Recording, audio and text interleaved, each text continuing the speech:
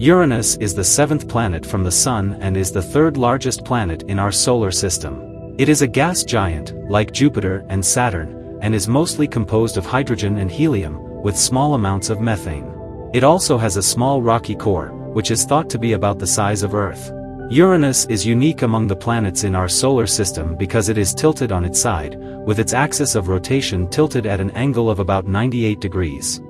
This means that the planet appears to be rolling around the Sun on its side. Uranus has a very cold atmosphere, with temperatures that can drop down to minus 371 degrees Fahrenheit. It has 27 known moons.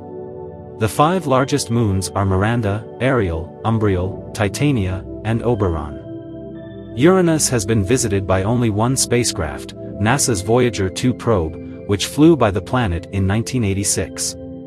For more interesting videos like and subscribe our channel Deep in Space.